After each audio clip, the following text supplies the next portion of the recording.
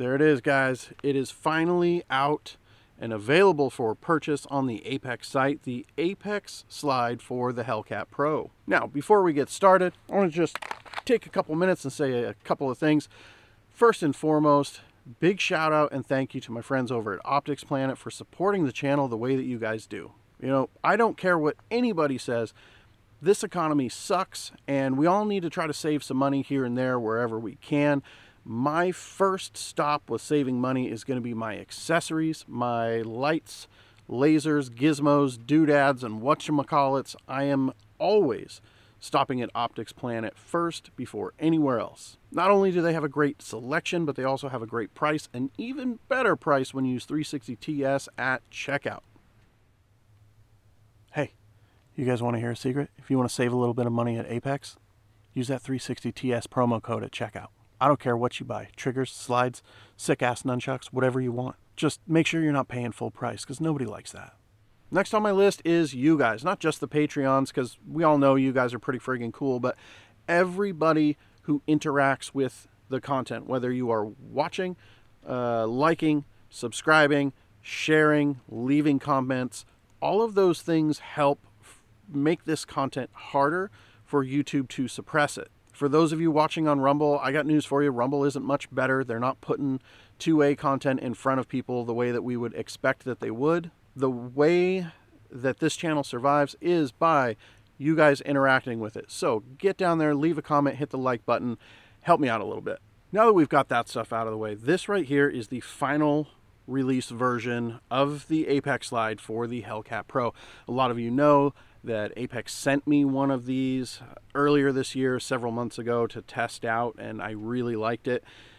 Between then and now, what they have done is added slots for porting, and they've also went ahead and released this ported barrel.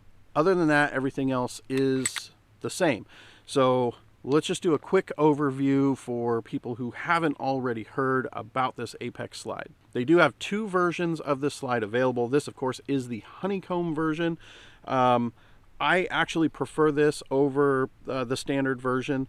The honeycomb actually makes for a really good grip when it comes to like an alternative for slide serrations. I'm actually surprised at how much grip that I get with that honeycomb uh, versus your standard slide serration. So I am really happy with that.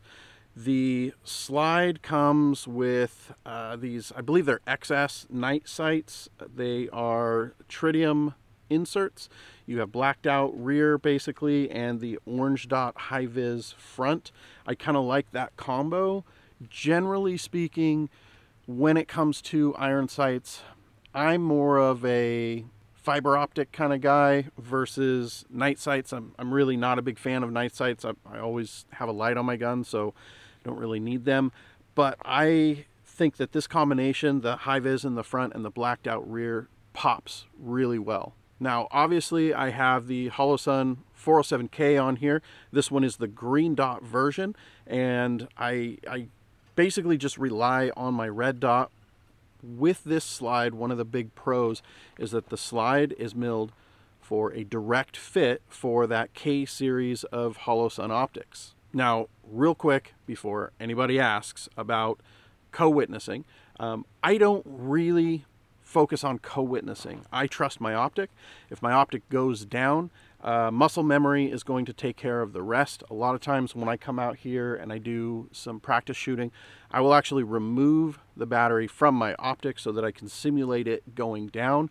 And if you are dry firing regularly, if you are live firing regularly, you would be surprised at how accurate you can actually be without having any sight system at all. That being said, the co-witness of these sights with the Holosun on there, it's probably not going to be what you guys are looking for, you guys that are hardcore co-witness fans. The sights could be just a little bit taller, but at the end of the day, you're still going to be able to use them, just maybe not as clearly as you would hope. In the packaging for the slide, it is going to come with the screws that are the right length for this optic with this slide so you won't have to do any guesswork as to you know, what screws you need, what length you need. They're going to be in the packaging. You'll be all set when it comes in. The other thing to note with that is that this is a stripped slide. You're going to have to take your old slide and you're going to have to take the back plate, your striker, you're going to have to take your uh, extractor, you're going to have to take all those things off of your slide and add them to this one. Then after that, it's going to be totally functional. Now, Apex does have most of those parts available on their site. I think the one thing that I haven't been able to find or source is the uh, uh, the, the safety plunger on the bottom side of the slide. I can't find anybody that carries one of those. Um, I'll have to do some more digging and kind of reaching out to different companies and, and seeing if anybody makes one. Here's the big news though. They have cut slots in the slide for the ported barrel that Apex is now producing. So here's what's happened. Uh, Springfield went ahead and released a version of this gun, the Hellcat Pro Comp, which it's not comped. I don't know why they're calling it that. It's a ported gun. Um, so Springfield released this and everybody kind of went crazy for it. Uh, as you guys know, I do have a couple of other Hellcat Pros that are ported. Uh, so what Apex did was Apex revised this slide with the slots for the porting. They released a barrel that's ported as well. Today we're going to function test the port on this and just kind of see how it runs. I have a stock barrel still that hasn't been cut. I almost sent it off recently to have it ported. Uh, glad that I didn't because now what I'm going to do is I'm going to put a couple mags through that stock barrel just to kind of remember how it handles and then I'm going to swap back over to this ported barrel and we're going to see how that handles and then we're going to talk about it. The stock barrel isn't horrible. I have a lot of features on this gun that help mitigate the recoil. I have the light on the front which gives me a little bit of weight and a little bit of balance. Um, I am using the Go Gun USA gas pedal which also helps. I have the Hogue uh, beaver tail grip on here and the Floyd's Custom magwell all of these things help me with controlling the gun and giving me better mitigation of recoil. So even though the stock barrel is, generally speaking, a little bit snappy, uh, it's still controllable. It's not horrible. Even with my carpal tunnel being, you know, balls deep in a flare-up right now, it's not horrible. When we swap over to that ported barrel, a couple of things happen. Uh, there is noticeably less recoil with the ported barrel versus the stock. Uh, but also it does increase the sound profile. It is much louder. Now, you can't get an accurate assessment of volume here where I'm at. Of course, I have trees behind me, yes, but that entire direction all the way around uh, is a deep rock wall. I'm basically sitting in the middle of a half bowl of rocks. So there's a lot of echo going on. Everything that happens here in this gravel pit is extremely loud. Ported guns are great for self-defense. Um, you're able to stay on target a lot better because you're getting less recoil. Um, I'm not a big fan of using a ported gun for my at-home home defense gun. I mean, sure, you're going to protect your life with that gun.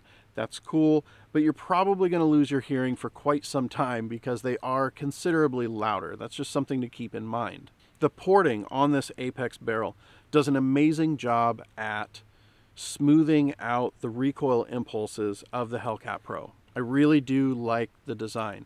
Now, I didn't bring anything to measure that recoil today.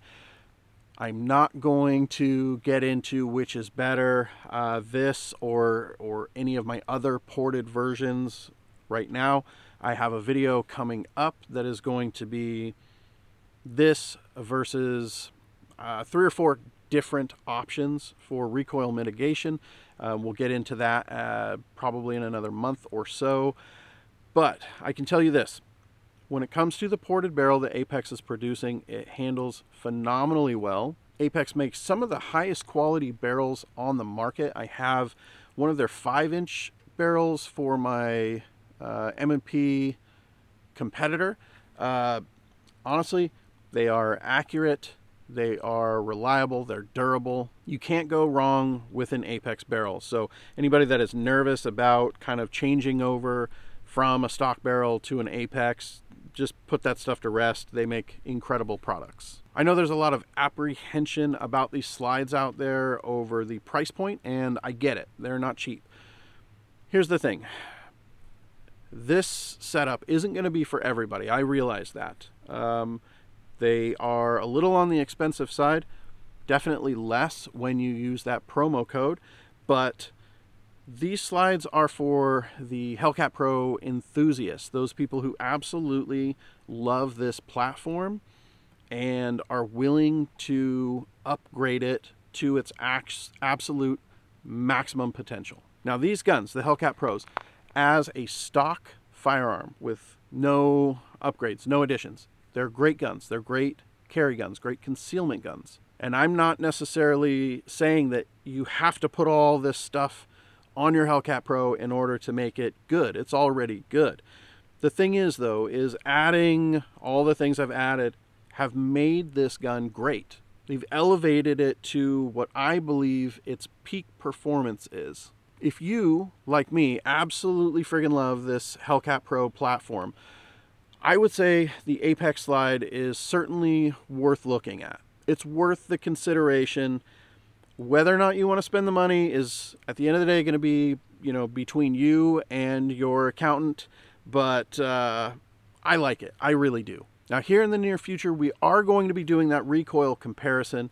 Uh, I have two other ported slides, but I'm considering buying another Hellcat Pro, one of the comp models, as soon as I can get one here in my mag restricted state. Um, I'm going to also do some work with a couple of different comps. It's going to be a long, boring video, but we are going to get down to the nitty gritty of what works best for recoil mitigation on these guns that's going to be it for today, guys. I really appreciate you watching. Remember, hit those buttons down below, leave a comment. Uh, as always, I'll see you back here real soon.